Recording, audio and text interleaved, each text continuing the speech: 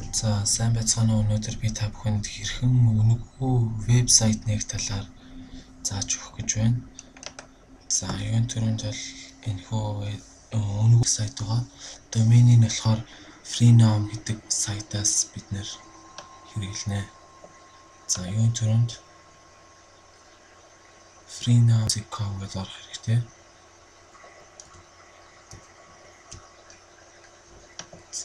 Freenom гэдээ орж байна. За тэгээд эндээс өөрийнхөө хүсэж байгаа домен оруулан за жишээ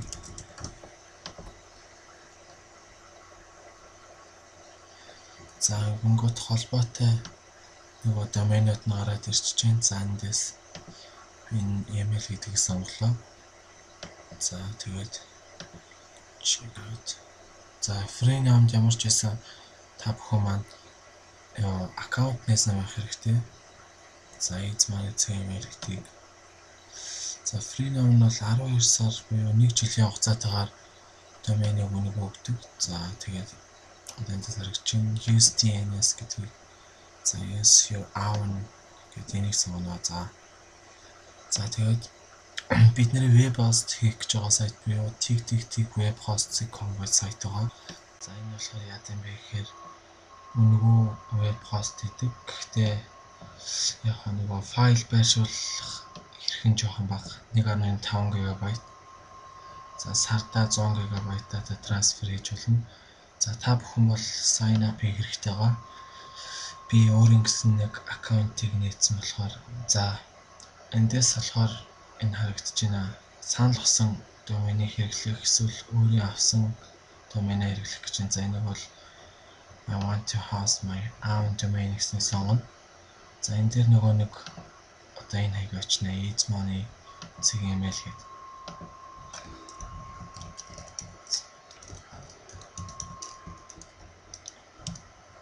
За тэгээд энэ дээр бол нэрээ бүтнээр нь чинь. За энэ дээр имэйл хаяг очно. За тэгээ пассворд. За тэгээд зөвшөөрөх төвчтөрнө. За би болохоор өөр аккаунттай байгаа. За ингээд та бүхнийг sign up хийсний дараагаар энэ list of your accounts гэдэг гарч ирнэ. Энэ дээр бол энэ domain харагдана. Тэгээд за нэг building гэд гарч ирдэг. Энэ нь яг нэг 2 минут хүлээгээд active болно. За тэгэнгүүт control panel руу очих хэрэгтэй. За control panel руу оронгуудаа account days гэдэг дээр ороод нэг 2 DNS хаяг байгаа. За энэ name server гэдэг энийг хуулж авах хэрэгтэй. За тэгээ энэ хоёр дээрээ оруулж өгнө. За ингэнгүүт шууд энэ доментойгоо таны хостж байгаа холбогдно гэсэн үг.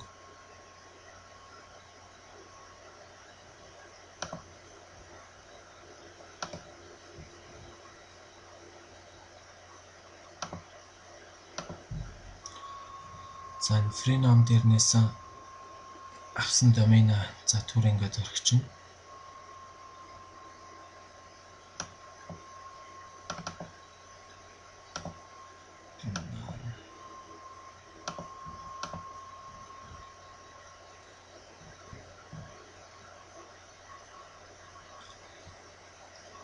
За одоо ингээд төрхөн доменуудыг харж болно. За за нийт маань эцэг юм л байж байна. За одоо орохоор бол юу ч харагдахгүй. За тэгээ аккаунт details гэдэг орны уулзсан.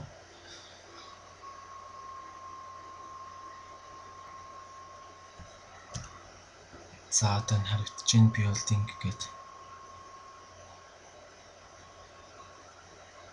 За одоо энэ 1 минут хэрэгтэй гэж. За control panel руу орох нь ороод За би бол 103 өвцг гэсэн энэ сайтыг нээсэн байгаа. За тэгээд тоошлуулад За энэ MySQL гээд харагдаж байна database гэсэн дээр. За энэ дээр бол өөрийн гэсэн database-ийг нэг хэрэгтэй. За энэ бол database-ийнхаа нэрийг оруулж өгнө. За энэ дээр бол database. За тэгээд username дээр бол за ямар ч хамаагүй За тэгээд нууцыг оруулна. Тэгээд 2 минут хүлээсний дараа database чинь нэгдсэн байгаа. За хэсэг төр орхиод. За одоо бидний хамгийн чухал хэсэг болох өөрийн хостдоо WordPress-ыг уншуулах болно.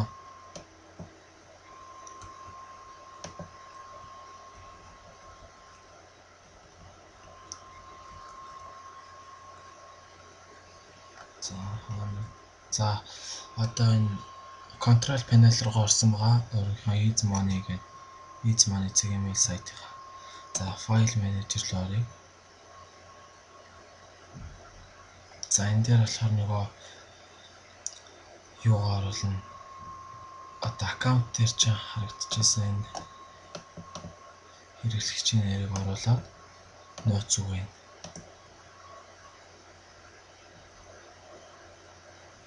За одоо ингэнгүүт 123 муу эсэг газ IT маань за бүх юм нь гараад ирнэ. За ийшээ public HTML гэдэг рүү орно.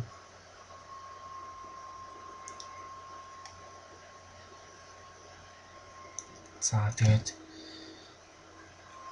энэ бол хэрэг за энэ ганцхан файлыг үлдээх хэрэгтэй байгаа энэ CHD-XS гэдэг энийг ганцхан үлдээгээд бусдын бүгдийг устгах хэрэгтэй.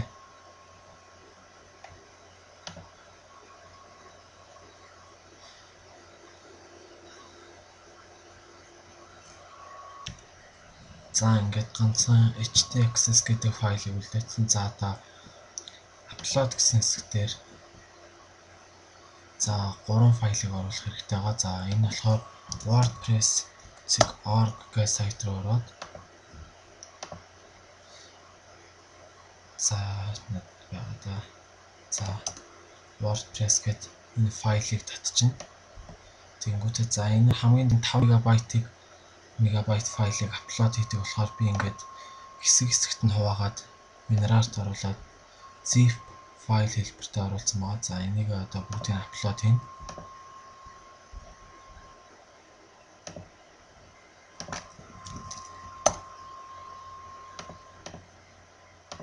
За энэ бол баруун талынх дээр нь оруулаад апплод.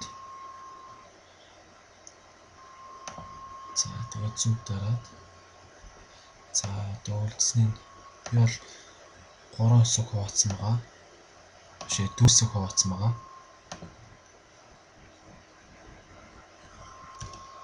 За би одоо ингээд дөрвөн хэсэг файлаа бүгдийг нь оруулаад дуусчлаа. За буцаад файл менежер руу оръё.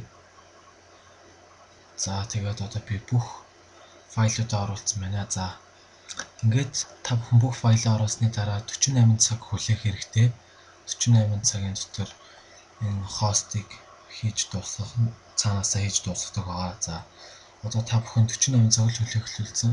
За би та бүхэнд илүү амар байлгах үүднээс нөгөө WordPress-ийнхаа энэ энэ файлыг энэ файлыг дөрвөн хэсэгт хуваагаад 5 мегабайтаас бага хэмжээтэй болгоод өгсөн линкийг үлдээ чинь та хүн доорх линкээр татаж аваарай. За дараагийн хичээл хүртэл түр баяртай. Намайг subscribe хийгээрэй.